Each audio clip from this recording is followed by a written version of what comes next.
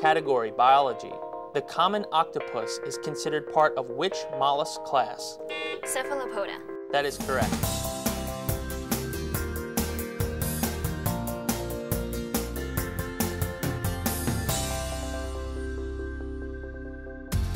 The Consortium for Ocean Leadership hosts an ocean education competition in the United States each year that helps high school students learn more about our oceans while preparing them to excel in math and science.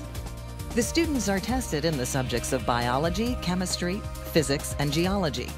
It's the future generations who have a major responsibility in improving our understanding of the ocean so that we can enjoy the resources that they provide. Teams of four to five students are tested on their knowledge of scientific and technical disciplines through quick answer buzzer questions and more complex team challenge problems. The shallow bathymetry of the Bering Strait. The Stratton Commission. El Nino.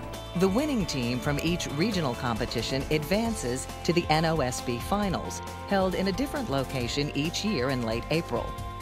How you can get involved in the National Ocean Sciences Bowl. Visit our website, www.nosb.org, to register for a regional competition and to study and practice answering sample questions.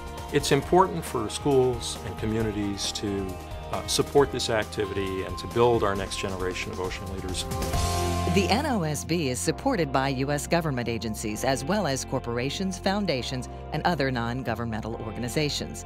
If you would like to contribute to this great program, please contact us at 202 232 3900 or by email at nosb at oceanleadership.org.